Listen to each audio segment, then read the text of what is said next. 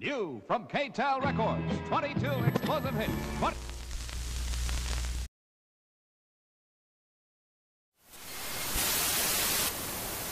Hey everybody, it's me, Steve Schnee, the CD Junkie. On this episode of CD Junkie, I'm going to be talking about the solo recorded studio output by Yoko Ono between the years 1970 and 1985. Now, if any of you are quote unquote Beatle fans, you've seen Get Back either on Disney Plus or you've seen the DVD or the Blu ray, and you know that Yoko Ono was not responsible for breaking up the Beatles. If you watch that documentary, you'll know that she was a, a, peaceful, calming presence for John and nothing more. You know, a lot of people automatically assume that all of Yoko Ono's music sounds like this. No! Okay, even that's a little bit much for me, but you have to look at the whole picture. Now, most of Yoko Ono's music did not sound like that. And I'm going to tell you about it when I go through her albums. But I also want to mention something here. You know, John Lennon came from a rock and roll background. He grew up listening to rock and roll, and, uh, you know, his influences, everything inspired what the Beatles would become, obviously, when he hooked up with Paul McCartney. What a great partnership. What a great band. My favorite band of all time. I don't talk about them on the channel uh, because everybody does it so much better but I will talk about the music of Yoko Ono, who came from a different background. Remember, she's approaching music from the avant garde, the artsy side. So she's not looking at it the same way that John is. She's not approaching it. She's not writing things the same way that John is. Uh, and when those worlds collided on some of their albums together, uh, you know, of course, I was, you know, taken aback when I was a kid growing up. I didn't understand what the heck Yoko Ono was trying to do or trying to say. You know, I was just thinking, well, I don't want five or six John Lennon songs on this album. I want 10 or 12. And a lot of people just didn't understand Yoko Ono, myself included. In fact, I really didn't come around to uh, understanding where she was coming from till I got a little older and basically grew up. Uh, and I decided to look at her music from a different angle, and I really began to enjoy it because guess what? She wasn't a Beatle, and she should not have been expected to write songs on the caliber of John Lennon. But let's start going through her catalog, and I'll tell you a little bit about each album. Now, Yoko Ono, Plastic Ono Band, uh, looks like, like a very familiar cover, uh, but if you notice, the John Lennon Plastic Ono Band uh, their positions were reversed. It was Yoko against the tree, John leaning against her. Well, on Yoko's album, it's John against the tree, Yoko leaning against him. And of course, on the back of her album, uh, has a picture of her when she was young, just like the Plastic Ono Band had a picture of John when he was young. Now, I have to admit, um, okay, there's the inside there. I have to admit that it seems like you know uh, when when um, John and Yoko went through that sort of primal scream therapy thing, um, it seemed like John and Yoko took it to different lengths. John took it emotionally, and all these songs came out, uh, you know, and and it, it wasn't literally a primal scream, whereas Yoko sounds like on this album that she maybe took it literally. I mean, I know that that's not really the case, but that's what you hear when you listen to this. You hear her getting out these these uh, uh artistic statements or this uh, uh, aggression, these emotions in an entirely different way than John was getting his out. Uh, but I wanted to show you something here that's really interesting on these CDs.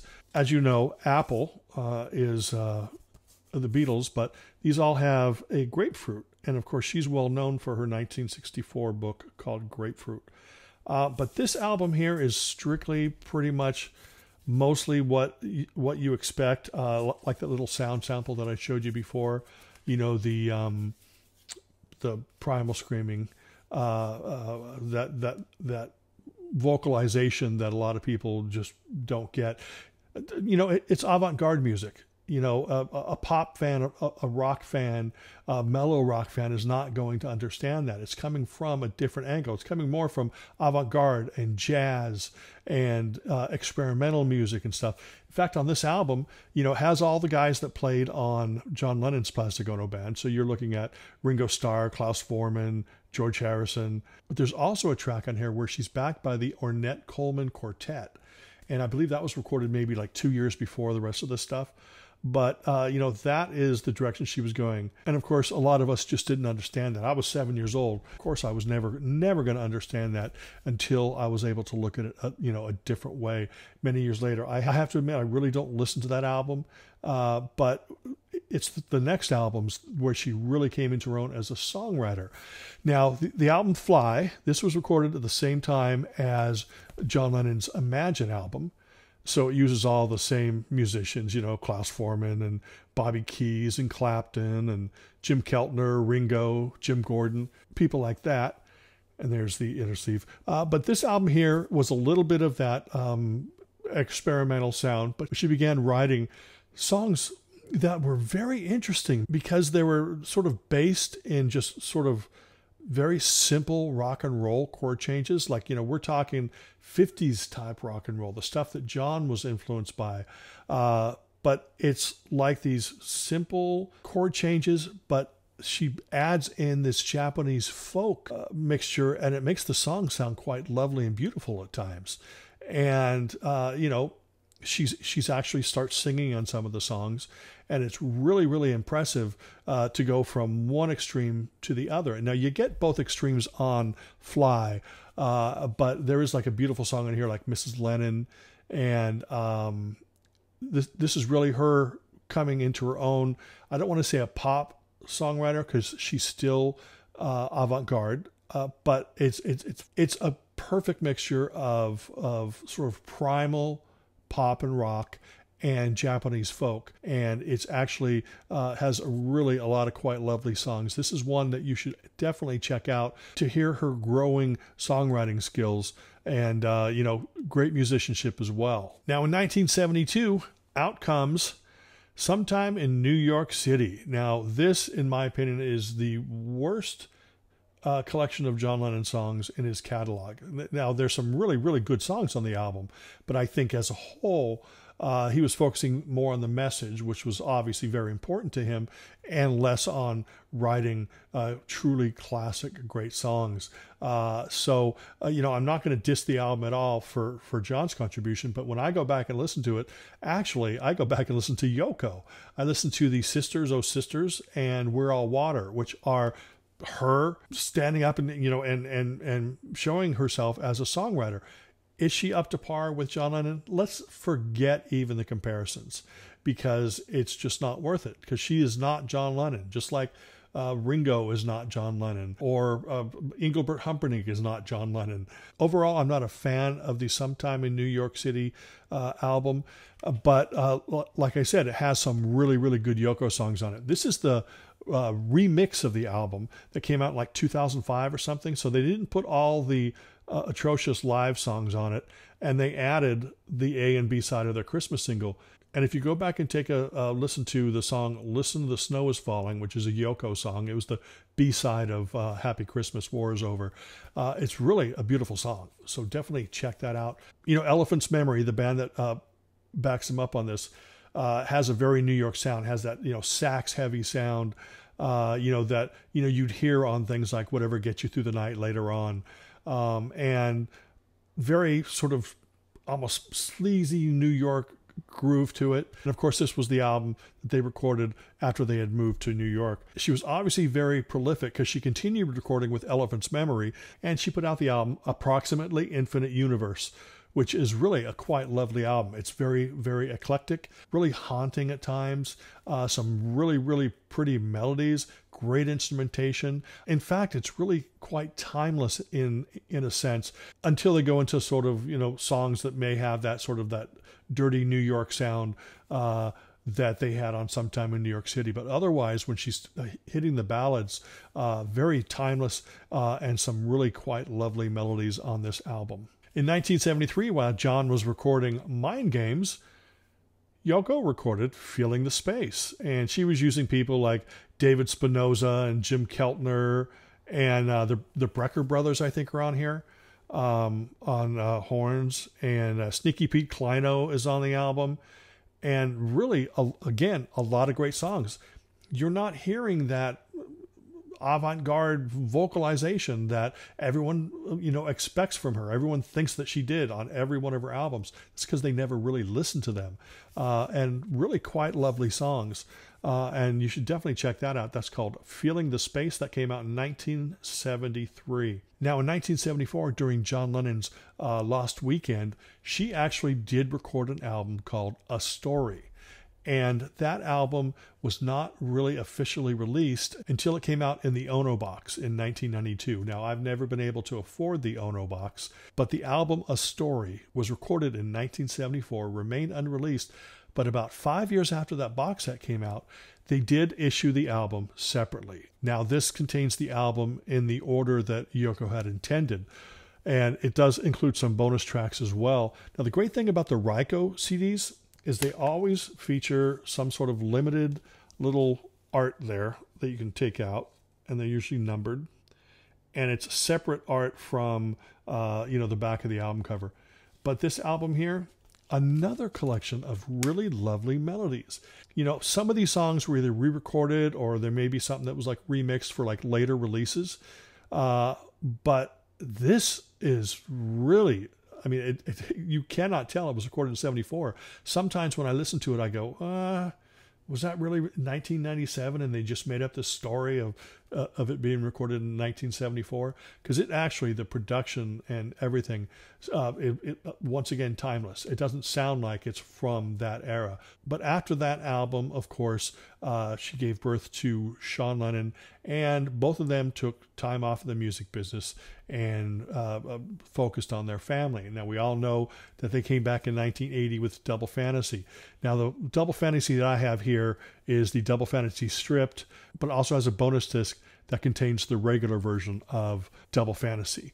So Double Fantasy is really what I'm going to focus on here. And of course, her songs on this album are really good. Kiss Kiss Kiss is now legendary, got played in new wave clubs, and it really shows that she was influential on a lot of artists, you know, especially someone like maybe Lene Lovich. If you're into Lene Lovich, you may want to check out the Yoko Ono albums. Uh, you know, I've read comparisons to B 52s. I don't hear that overall, but, uh, you know, I do understand how people can say that she was an influence on them, and I'm not going to deny that. You know, all the power to Yoko. That's all I can tell you. So 1980, and of course we know what happened after that. Uh, and what happened with Yoko is she needed to uh, express herself like she'd been doing throughout her career. She expressed herself through her music, and out came Season of Glass. Very controversial cover, but another collection of great songs. I mean, if, if you're not hearing uh, the, the the sorrow in her voice or the sorrow in the melodies, then you're not listening properly. Uh, and I totally understand that. I totally understand people not digging Yoko. But what I'm telling you is there's really a lot of lovely songs in her catalog that you need to check out. But the CD has a few bonus tracks on it, and it's it's worth your time to dig into the, you know this of course she's expressing like i said her emotions so it's it's a fascinating listen uh, and it's a heartbreaking listen you know to be perfectly honest this came out in 1981 and this contains a lot of the same people that had worked on uh, double fantasy uh, and and some of her other albums like you know let's say uh, people like hugh mccracken or uh, tony levin earl slick uh, andy newmark you know people like that and then in 1982 she put out the album it's All Right, I See Rainbows. Another really good collection of songs. Uh, this features like Hugh McCracken, like Paul Shaffer on keyboards on this, Tony Levin, uh, bass guitar. This is a fine collection there. And you can see Yoko and Sean. And that was 1982. Uh, really nice collection of songs. Again, I keep saying that because it's true. Now, in 1984, they released the Milk and Honey album, which was leftover recordings from the Double Fantasy sessions. You know, half of that is Yoko songs. Look, I was even part of that gang who back in the day uh, put together a cassette called Single Fantasy and cut out all the Yoko songs because uh, it, it didn't connect with me you know, I was that guy. I was, you know, I wasn't going around going, I don't like Yoko. I just didn't pay attention. Uh, and it took like probably mid 80s before I really started to go, whoa, okay. I'm gonna, you know, but I loved Sisters Oh Sisters back when I heard that. I love Kiss Kiss Kiss, and just great songwriting, uh, but there's much more depth to what she did. And the final album I'm going to talk about is an album called Starpeace that came out in 1985. This was produced by Bill Laswell. And the thing about this album is it's really uh, uh, uh, takes her to that sort of avant-garde cool factor where she was working with you know people on this album like Sly and Robbie, you know Bernie Worrell from Funkadelic and stuff, and this was very much part of that whole Bill Laswell thing. You know, he was part of like Material and he was part of like early Golden Palominos. And so it's quirky, but it's catchy and it's very 80s, very mid 80s synthy. And there's lots of really, really cool songs on this. Now, there's also other songs that she didn't put on albums, like Walking on Thin Ice, which was actually the last session that John Lennon ever did on the night that he was taken from us and uh, uh, he actually was clutching a cassette um, of a mixdown of that song. So they had just finished that, and and that's just just really a fantastic track. In fact, I don't have it handy here, but there is a compilation called "Walking on Thin Ice" that if you want to hear kind of this Yoko solo career, it's a pretty decent overview. I just want to tell you that you know don't let those books from 1975 or 1983 telling you that Yoko broke up the Beatles and Yoko's music is weird, don't pay attention to that. Just listen with your own ears. Uh, come at it from a different angle. Realize that she's coming from the art world, not the rock and roll world. And uh, it, it, you know that's why her approach to music was completely different, and it sounded different, and it still sounds different. But over the years, you know, there are artists that get a lot weirder than Yoko Ono, and you know everybody loves them. So give Yoko Ono's music a chance. Huh. Give Yoko a chance. But anyway, what I'm going to do right here is I'm hoping that I'm going to be able to put a little medley right now to just just give a sample, not even of all albums, but just to show you that she's more than. No! There's a good chance that uh, uh, the copyright laws will have me remove that uh, uh, medley and um, it'll just skip over to my goodbyes. But hopefully, keep your fingers crossed that you're going to be able to hear a little bit of Yoko right now, just to give you a little taste of what to expect when you dive into her catalog.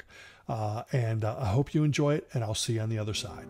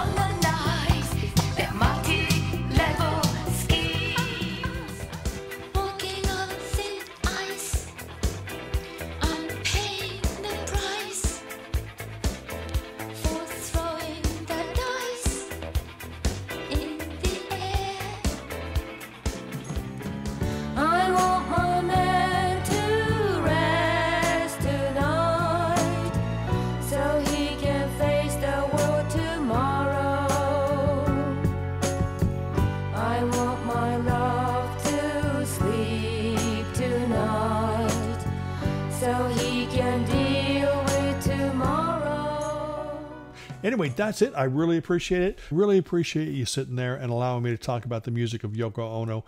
Uh, it's really, really a catalog that needs to be delved into. Uh, if you love uh, avant garde, if you love uh, just emotional uh, pop music, if you love music that's just coming from a whole different universe than rock and roll, uh, you should really, really check her out. And it'd be nice to get people to stop just dismissing her and thinking she's one thing when she's really so much more than that. And uh, remember to like, comment, share, subscribe, to ring that bell for future notifications. And until the next time, remember me. I'm Steve Schnee, the CD Junkie.